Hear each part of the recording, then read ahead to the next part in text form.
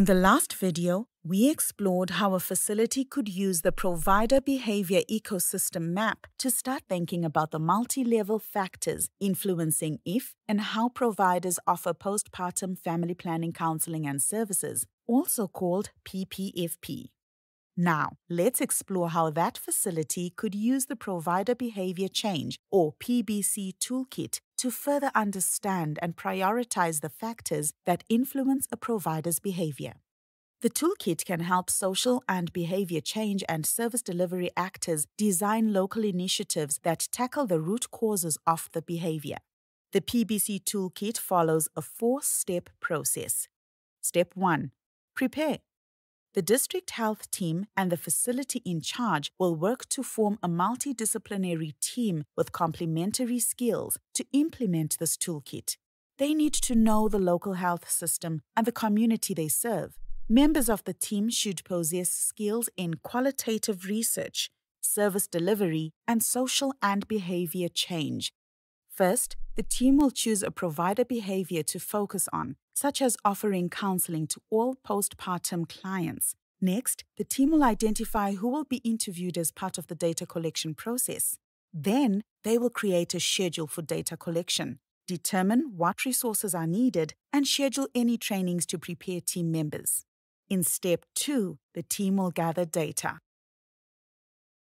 The PBC Toolkit contains various collaborative tools to help users identify and then prioritize the strongest influences on their focus behavior, in this case, the provision of PPFP counseling. For example, the client scenario tools can help the team understand what, from the client's perspective, influences provision of PPFP counseling and services.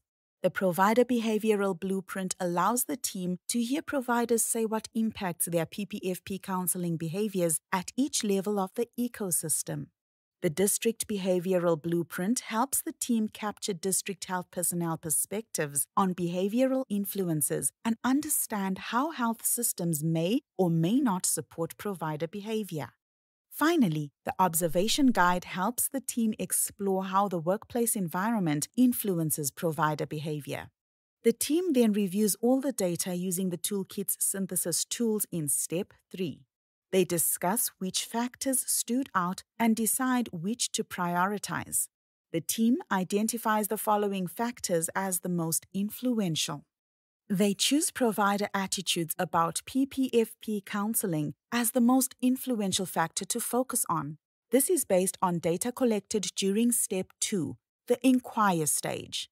The team is now ready for the final step in the process where they will brainstorm solutions for addressing the prioritized factors. Then, they will use what they generated to create action plans.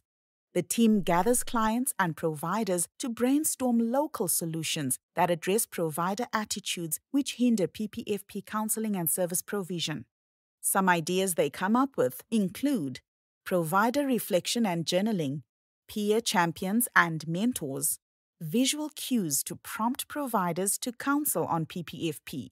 Then, using the action plan tool, participants create a concrete implementation plan clearly outlining the proposed activities, resources needed, and how to measure success.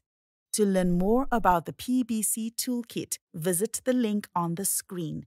The tools don't just help you understand the problem, they guide the design of effective solutions.